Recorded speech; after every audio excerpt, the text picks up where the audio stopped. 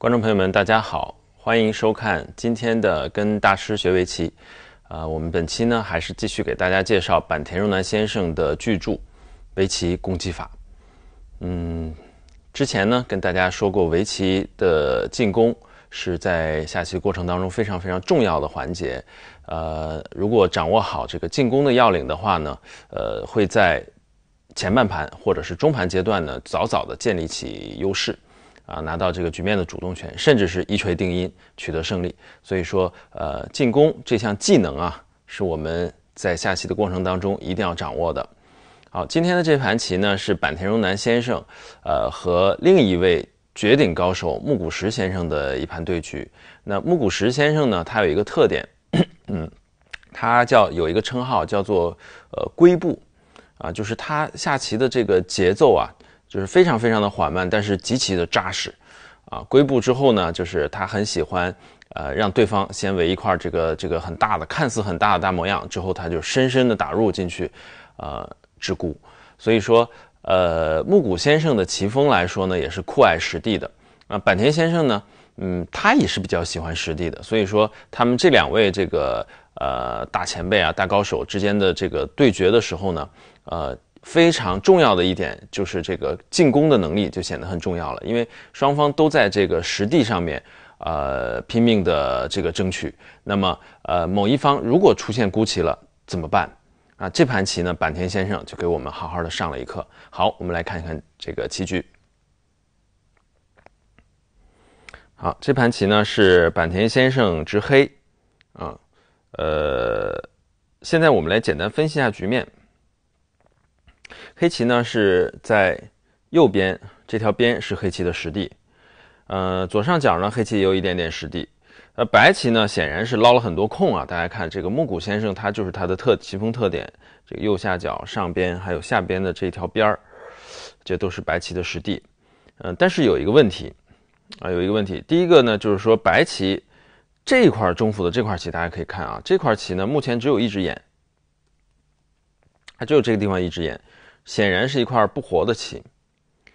呃，其他的地方，全盘其他地方呢，基本上可以说是双方已经是，呃，这个定型告一段落了，就是属于是呃进入到收兵、鸣金收兵的阶段了。那只有这块棋，目前来说，很显然是全局的一个双方要就是进行争夺、进行缠斗的这么一个焦点。呃，黑棋该怎么样去进攻这块棋，决定了本局的走向。呃，从实际上来看呢，因为白棋在前半盘已经捞了大量的实地，所以说目数来说，全盘是白棋领先的。那黑棋必须要通过进攻白棋这块棋获得收获才行，或者说是如果有可能的话，要把它歼灭才行。那对于黑棋来说，现在坂田先生的这个局面呢，呃，虽然有主动权，但是嗯，必须要利用好这个。呃，进攻的现在这么一个优势的，呃，转瞬即逝的这么一个机会吧，啊，争取获得呃盛世。好，我们来简单看一下黑棋有几种进攻的方法哈。第一种呢，就是最简单的这个飞，这可能是大多数的呃我们的怎么讲，就是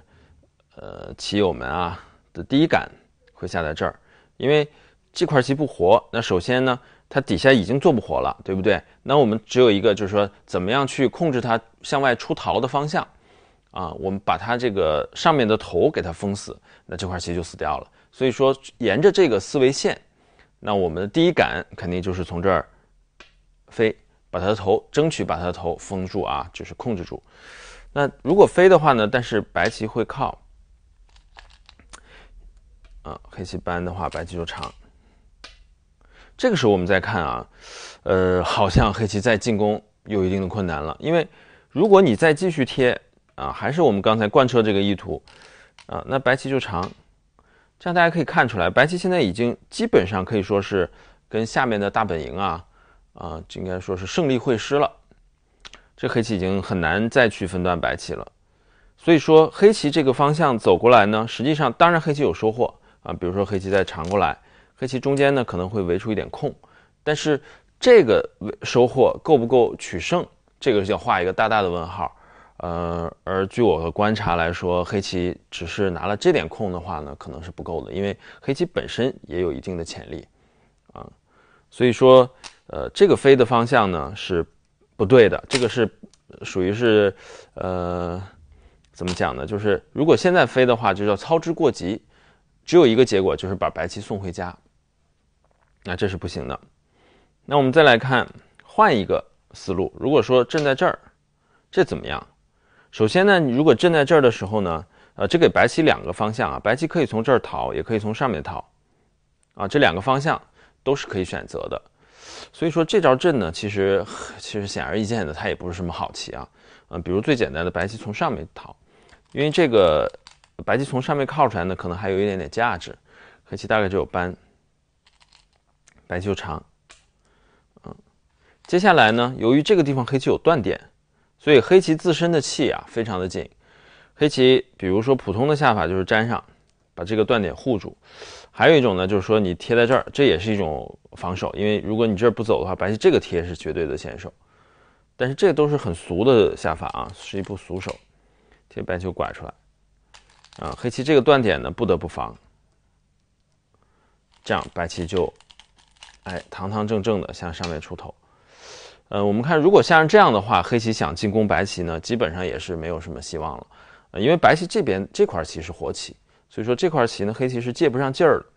而如果被白棋虎过来的时候，大家可以看啊，如果虎过来的时候呢，黑棋自身的联络还存在一些问题，白棋想要做眼是非常非常容易的。所以说，如果下到下到这儿的话呢，黑棋也是失败的。好，通过我们分析啊，就是黑棋如果直接飞，或者是直接的在这震，这两种下法都属于直线型的进攻。我们说进攻分三种方式啊，经常我们会提到这三种方式，大家应该是比较熟悉了。那么我们说第一种方式直线型的进攻呢，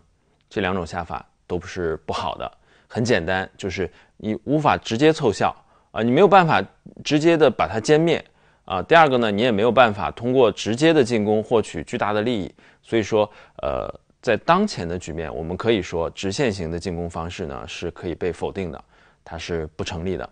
或者说是并不是当前的首选吧。好，那我们来看一看坂田先生的实战。呃，这块棋呢，我们刚才说绝对是当前局面的一个最最最核心的重点，呃，因为胜负就取决于此，但是。并不代表说我们现在立刻就要对它进行这个制裁，是吧？呃，我们也要制造最好最好的时机，看清楚了之后，就是一举进行歼灭啊！对敌人要要是这个稳准狠啊，我们出手要稳准狠。所以说，通过刚才我们的分析，黑棋飞过来的时候呢，我们看白棋靠出来，就是大家还有印象吗？就是白棋离这边的这个家很近。离他的大本营啊，下面的这些棋子，这都是援军，离这些援军很近。那所以说呢，顺着这个思路，我们有没有好的下法呢？坂田荣男先生给我们了答案。实战呢，非常非常酷烈的一手啊，大家可以呃这个仔细的欣赏一下，好好欣赏一下，他是走在哪儿的？靠，这个靠。不知道大家作何感想啊？就是我看到这招棋的时候是非常的震撼，啊，首先这步靠是绝对的命令型的下法，就是白棋是绝对不能脱先的，因为这招棋非常的紧凑。比如说你要是下在别的地方，随便举个例子，你要是点在这儿，白棋都有可能脱先。当然了，我估计这个木谷先生是不会脱先，他肯定会跟着你应，因为光有这一步棋啊，你是杀不掉他的，这一步棋不够。所以说呢，呃。从不管是从这个任何一个角度来说，这个都肯定不是好棋哈。虽然说意图比较明显，但是呃，这个手法不够好。实战呢是靠在这儿，靠在这儿之后呢，显然这招棋就叫叫缠绕进攻，对，声东击西，对不对？看上去是在这个局部跟白棋纠缠，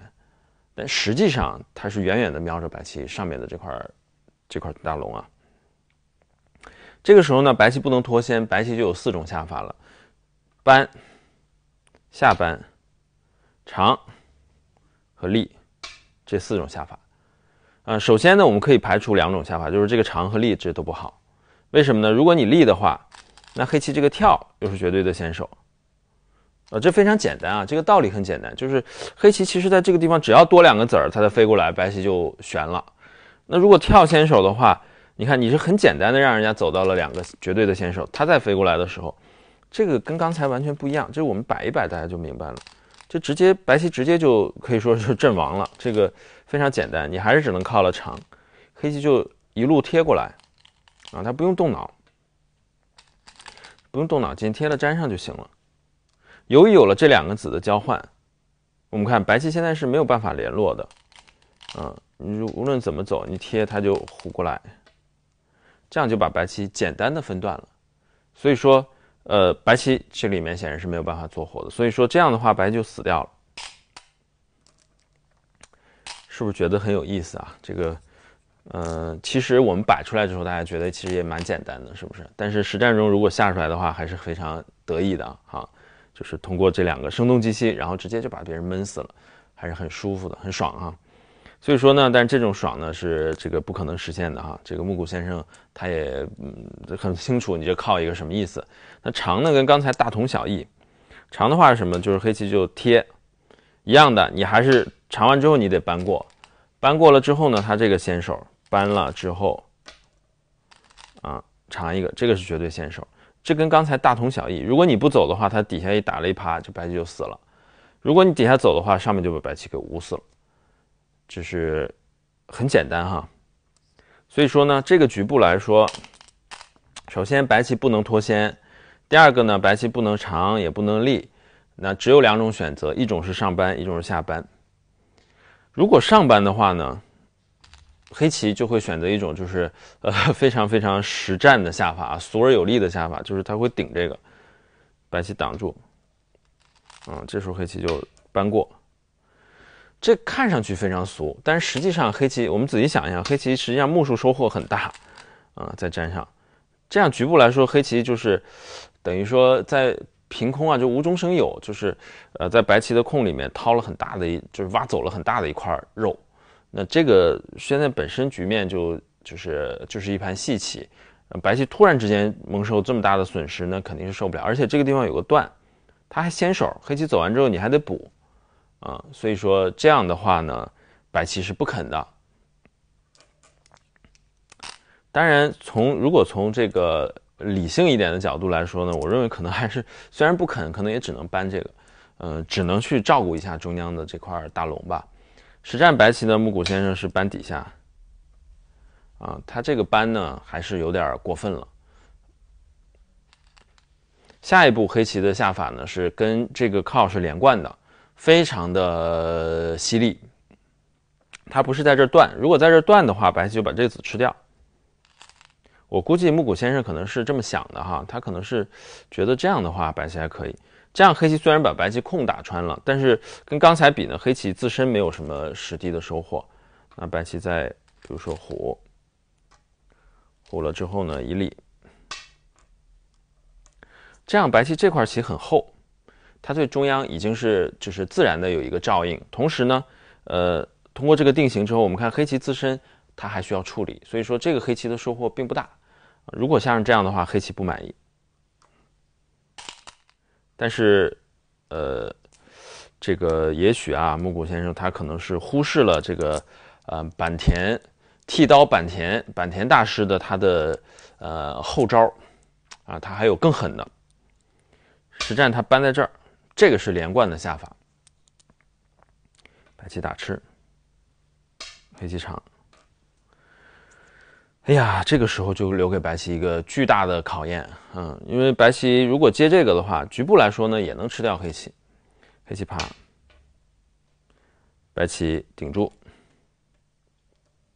这可能我摆的有点快啊，大家就是因为它不重要啊，这是一个局部的死活问题。这个时候黑这两个子呢是活不了的，这是杀不过白棋的。但是黑棋通过这个拐这个是绝对先手，白棋只有打吃，因为你如果接这个这没有用，接这个的话呢，黑棋接也还是先手，因为不走就扳死了。所以说呢，他拐这个，打这个，这两步是绝对的先手，这两步是绝对的先手。走完了之后，跟刚才一样，这才飞过来，这个比刚才还要，这个比刚才还要结实哈。黑棋的这块，那这白棋显然是没有任何生还的可能的，这就是呃大龙被屠。所以说呢，黑棋这个非常，它这个下法非常的硬，非常的犀利啊。如果你要是接在这儿的话呢，直接一爬，就是你就面临着要么这块死，要么这块死，就两块必死一块的这么一个局面了。所以实战白棋他没办法，这个时候呢，呃，这个时候他想起就是一定要照顾起这个中央的这个巨龙啊，呃，所以说他实战只好吃在这儿，吃在这儿黑棋打吃。这个时候白棋呢提掉，啊，他不肯接这个，如果接这个的话呢，呃，黑棋吃。这个将来白棋目数还收获又很小，将来人家跳这个，白棋没什么目，所以说呢，他这个时候木谷。木谷石啊，木谷先生他还要拼一下，他把它提了，当然黑棋打吃，这个时候白棋不能打劫啊，这个劫黑棋是无忧劫，那中府全都是劫财，对黑棋来说打输了无所谓的，啊，对白棋来说就是致命的，所以说这个白棋只好接。我们来看一下实战哈，实战黑棋吃，白棋打吃，黑棋提掉，那这个时候呢，其实白棋已经这盘棋已经不太行了，因为呃这个地方如果被黑棋吃下来的话，白棋空也不够。而且吃下来又是先手，这跳白棋局部还没活，所以他只好打这个。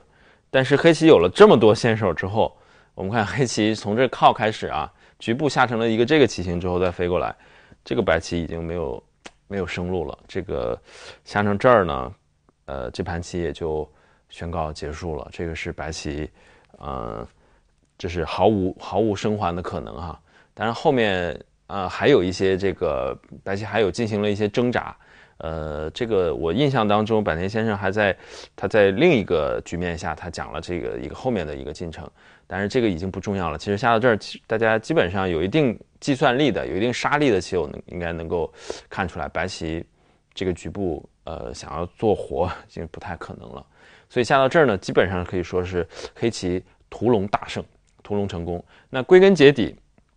是因为什么呢？是不是因为黑棋就是力量非常大啊？就是他比别人劲儿大，他直接，呃，就扑上去把别人这个这个大龙吃掉的，不是这样的，而是他是用了非常巧妙的，我们说进攻当中非常巧妙的战术，叫做声东击西，啊，是一种缠绕进攻的一个战术。那利用白棋这个呃不肯在局部牺牲的这么一个心理状态，呃，而且确实当时的局面呢也是非常的接近。那白棋在局部不肯做出损失，不肯牺牲，那么。呃，